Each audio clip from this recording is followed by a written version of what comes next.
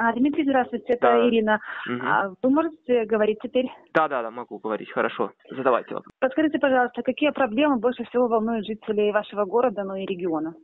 А, Ну, на самом деле, проблемы, которые волнуют жителей нашего региона, они, как я понял, особо не отличаются от тех, которые в другом регионе. Я проводил даже специальный соцопрос, у меня есть видео на канале об этом. Основные проблемы – это безработица, низкая заработная плата, э, и еще говорили люди по поводу там ЖКХ у кого-то работает не очень хорошо, там один человек сказал, что у них как бы отопление там промерзает, в общем, такое вот всякое. Кто-то жаловался на то, что пенсионеры в основном не хватает поблизости хозяйственных магазинов, типа открыли очень много продовольственных всяких магазинов, таких сетей, а хозяйственных не хватает, далеко надо ходить. Ну, в общем, такое основное это безработица и низкая зарплата. А в Орше, в регионе, вот примерно зарплата колеблется на среднем уровне сколько рублей? В среднем уровне 350 рублей. 350 рублей.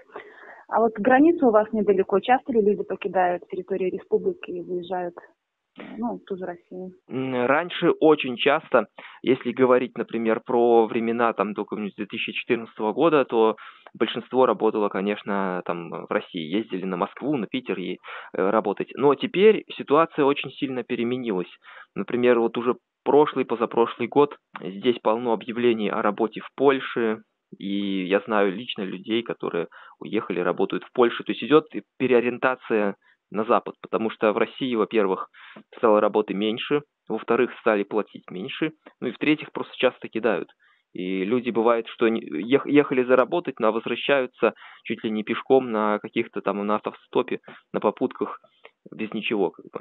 Поэтому многие сейчас переориентируются на Запад. И наши как бы структуры демократические активно помогают. Например, ячейка профсоюза РЭП проводила даже, не знаю, один раз или нет, но один раз точно я, я слышал в конце марта, с- как это сказать, семинар, может быть, о, о том, э, как, в общем, как поехать в Польшу, как работу найти, то есть что там надо. То есть, ну, помогали, активно содействовали трудоустройству всем желающим. А вот по вашему мнению, как жители считают, вот кто в этом виноват и что делать э, в связи с тем, что сложилась такая тяжелая ситуация в регионе? А, Ну, конечно, сознательные жители, которые более-менее э, в теме и которые интересуются политикой, они прекрасно понимают, что все идет с центра. Виноват самый главный. То есть, если взять любую проблему вообще в стране, такую серьезную, системную, то виноват, конечно, ну, сами понимаете, кто. Если 25 лет ее не могут решить, то, наверное, виноват не губернатор, не начальник райисполкома, а кто-то выше, кто назначает постоянно не тех губернаторов, кто ведет не ту политику экономическую там и, и так далее. Но если взять простых людей, бабушек, дедушек, то, ну, конечно, они как бы э, бывают наивные вещи, говорят, что ну вот тут у нас как бы э, не тот там начальник, вот надо там сменить начальник завода, там парохода и прочее, а вот сейчас другого Лукашенко назначит, хорошего боярина доброго, и он все исправит.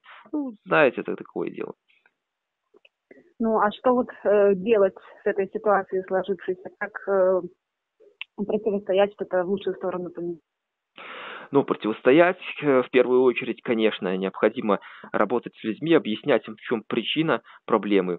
Э, Люди не должны бояться говорить о проблеме, потому что, например, мы, когда проводили соцопрос, столкнулись с тем, что многие просто отказываются на отрез отвечать, даже при том, что мы говорим, мы лица там замажем, не покажем вас. И все такое. Все равно говорят, ой, не надо, меня там посадят, меня накажут и прочее. Люди боятся и не, не хотят признавать проблем. Многие говорят, нет, все хорошо, проблемы нет. Хотя мы знаем, что это неправда. Э, В первую очередь надо признать проблему, потом надо объединиться с теми, кто также готов ее решить, и вместе действовать. Сейчас у нас будут парламентские выборы накануне, э, в следующем году президентские выборы.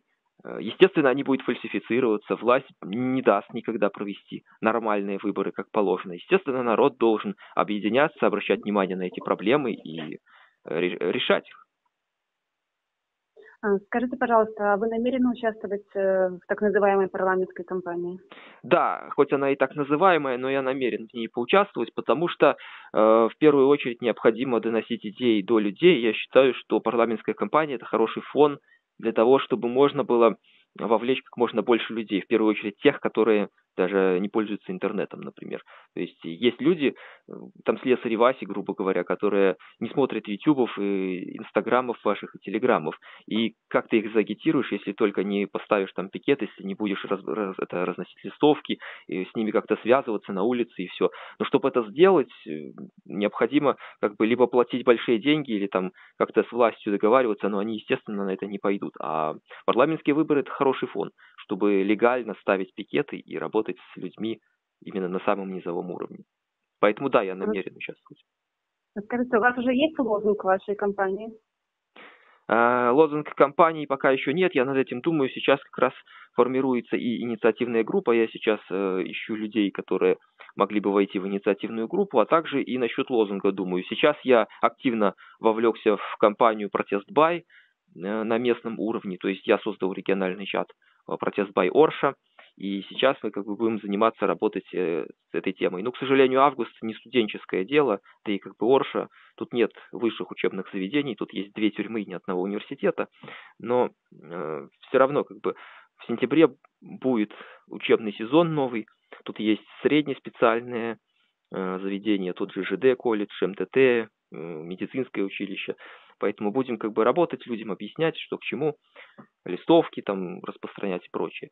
И на фоне президентской кампании, э, этой парламентской кампании, конечно, все это будет проходить. Так что лозунг, я думаю, сформируется. Возможно, добавятся новые какие-то проблемы еще. Еще все только начинается. Спасибо большое, Дмитрий. Mm, Всего спасибо доброго. вам. До, до свидания.